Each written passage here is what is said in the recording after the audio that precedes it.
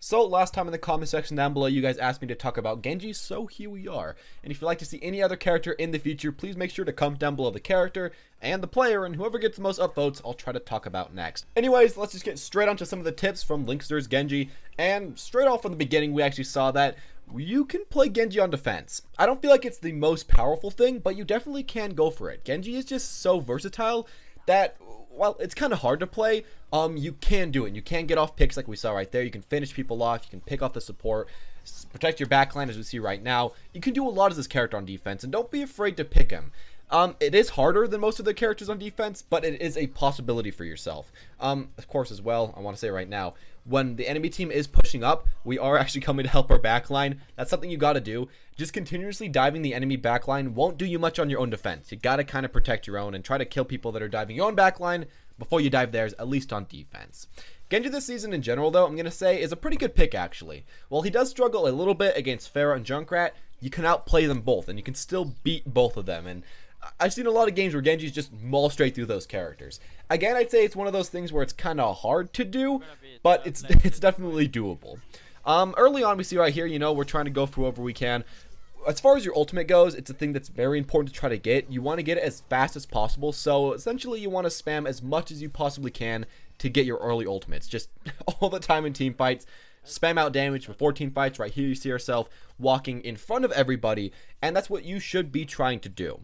In this meta, I want to go back to that for a second. Um, of course, we have Tracer and Genji. Those are probably some of the best heroes to kill Mercy, especially when she's not ulting. So please do try to abuse that. And try to maybe save your ult sometimes to when the Mercy is actually ulting. Because you can one-shot the Mercy, essentially, if you're ulting. If you get a few shots and then you ult, Swift Strike, you can kill her. So make sure to keep that because otherwise you aren't going to really win the team fight. But if you do save that ability for the Mercy, you definitely can win that team fight. Speaking of team fights, we see one right here in every single team fight, Linkers, Linkzr walks above them, or I guess jumps above them, goes immediately after the Mercy, and then tries to finish off whoever else he can find. Um, who he's targeting as far as his blade goes, just essentially, again, the Mercy first, and then maybe the other support, and then he just goes after whoever is closest to him, which is kind of just what you want to do. Um, you want to make sure that you aren't overextending though. I see a lot of Genjis that just swift strike way into the open. The enemy team still has a McCree or a soldier or a tracer or something, and they're just going to kill you from there. So don't do that. All right, there we saw ourselves deflecting, of course. As Genji with your deflect, wait a second, so then you kind of know that you aren't going to waste it, so, you know, you can actually get out. And make sure to walk backwards a little bit before you start deflecting. Um, that can save you quite a bit. Uh, as we continue down here, you know, as far as ulting again, you want to make sure that you either aren't a man down or you have someone else to combo with because your ultimate, while it is very powerful, if they still have like their mercy healing up everybody on their team, often you can't really kill them. And especially if you're down a man and the enemy team has a mercy healing and your team does not have the mercy healing, it can be kind of hard. Luckily for us right now, you know, our team's doing really, really well. Um, I think they get to pick off the mercy. Right there, I think is a good thing to kind of keep for yourself, though. If you aren't close enough to immediately one-shot that mercy, and if you don't think that the enemy mercy is going to be hit by your Swift Strike, don't waste your entire ultimate trying to go after her. Just hit the people closest to you, try to kill them, and if you get the opportunity to, let's say, kill somebody and then Swift Strike on the enemy Mercy and then go on from there, take it, but don't overextend for that. That's going to lose you a lot of fights on defense. On offense, I'd say you can be more risky, be more liberal like that, but on defense, you have to be very conservative with really just everything you're doing. Again, in this team fight, we're jumping above them. We're trying to get melees because that hits all the people at once, charging up our ultimate, getting a Swift Strike in there, you know, doing whatever you possibly can do as Genji. As always, left click gives you the most far range damage, but right click does give you a lot more just burst damage. So that's how you essentially use those things. Pretty obvious things to, I guess, begin with. But, you know, other things to remember. Uh, this game as well, we do see that they, uh, the enemies this game do have a Winston. And Winston does counter you if you fight him alone. But if you actually fight him with a lot of your teammates, especially when you're ulting, you can beat him semi easily. Um, he could just be out healed by like you know Mercy, Ana, whatever, uh, even kind of Zenyatta a little bit. So remember that while you should be afraid of that character, you shouldn't just run away the second you see him. You still can do a little bit against that guy. Again, right now we're going to see another team fight, you know, jumping in, getting her ultimate off there, trying to kill whoever you can. As always, don't hit the Zarya when she's shielding, whatever like that. Unfortunately, overextend just a little bit this time, but do get rezzed, And I'd say almost the second you get rezzed, um, if the enemies are still alive and everything, just instantly go for that reflect. Sure, you might sometimes waste it, especially if there's no one next to you. But if you know that there's a lot of people next to you, just don't take the risk. Just reflect. Maybe make sure that you're looking at the enemies so you can actually reflect all the damage, and then try to swift strike out. The res is just so powerful, you don't want to waste it like that. Um, especially if you push up quite a bit, which you kind of have to do as Genji. It's something you want to keep in mind. This game, as Genji though, this player is actually doing something which is nice, which is getting such a high amount of poke that he actually has gold damage. Of course, Genjis do often have gold damage, but a lot of times people just have trouble getting it as him, because of course he doesn't have that consistent damage like a Junkrat or a Pharah or a Soldier or something. But if you do continuously poke, continuously try to get your ultimate, continuously go for a few picks, you can get that gold damage and I guess feel good about yourself, but mainly just get a lot of ultimates up super quickly. So it's getting pretty close to the end of the first round. The offense did push pretty far, you know, not way too bad. All right, now jumping on to the Zarya, and then after that, I think just, again, jumping around in the team fight, trying to hit whoever we can.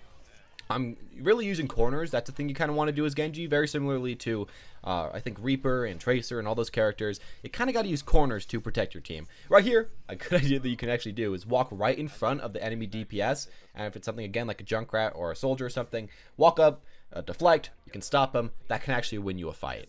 Um, and, and I guess the final thing I'm going to say that I did see this game is that when you are against a Tracer, don't immediately swift strike at them. Try to get a bit of poke with them because you can poke her more than she can poke you because you just have a little bit more health. Um, and then from there, you know, wait until she's close to you to swift strike melee and try to kill her like that because otherwise she's just kind of going to get away. Um, so make her, I guess, overextend for you and then go in from there. At the beginning of this game, we see, you know, our Genji player going for that high ground, trying to get picks. Unfortunately, we saw right there, if Mercy's healing somebody, you can't really kill them. You can kill the Mercy often, but in that case, we couldn't even kill the Mercy because there was a soldier there. So don't try to kill Mercy who's getting healed by a soldier health pack for the most part. Um, and don't just really go for the characters that are being healed 100% by the Mercy. Go for other people, go for people that your teammates are going after, and try to just finish off kills because Genji can finish off kills super well. Right there, we chase that guy down, gotta pick him off, and yeah, you can just finish off the first point, stall for time for our teammates. Um, that's the thing you might want to keep in mind. It is a good idea to stand on the point and try to get as fast as possible. But as well, if you can push up past the point a little bit, it allows for your team to just get quite a bit more time for it to be pushed up and um, to make sure that the enemies aren't going to get some really weird jank uh, last second cheese on you that can actually happen uh, quite a bit. It's kind of annoying, but it can happen quite a bit.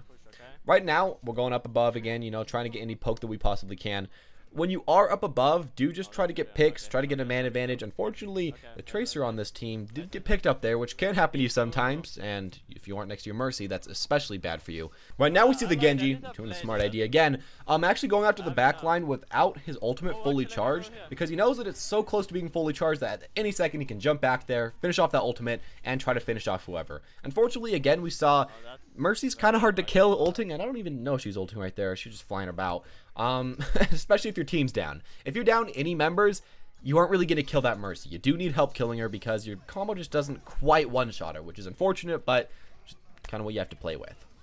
Um, and during that team fight as well, we saw that um, Link Linkzr actually did tell his team that his blade was ready. And please make sure that you don't blade before you tell your team that it's ready because it's a great thing to combo with your team. And if you just go for it out of the blue, sure, it might do well, and sure, you might be able to get a pick or two by yourself, but it's much better to go in with your team so that the enemy team can't just turn around and target you all at once.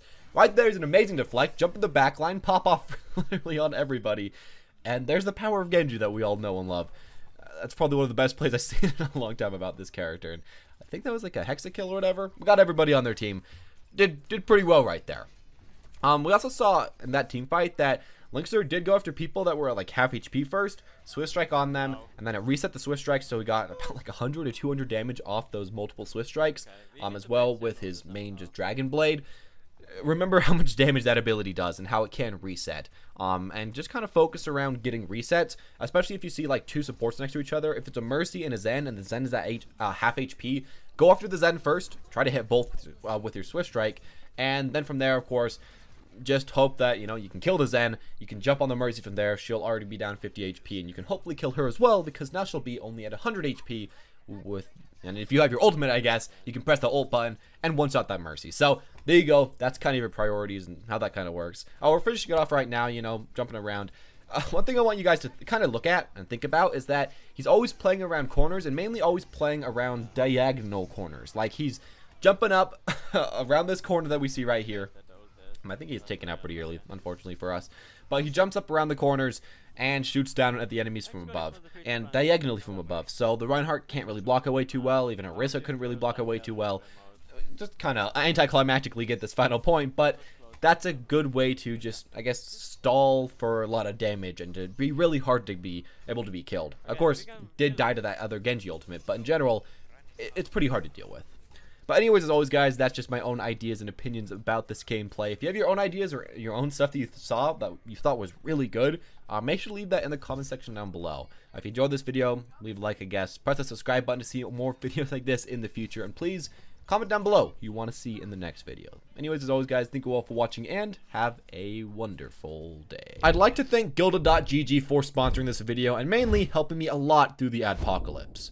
So, Guilded itself is a website focused on finding, founding, and expanding your gaming team with relative ease. You can schedule events, recruit new members, build team comps, and find teams to scrim with and to scrim against. Best of all to you guys, it's free. You can get started yourself with the link in the description below, and if you sign up by November 10th, you'll be entered into a chance to win a $50 Blizzard gift card. So, maybe I'll see you there.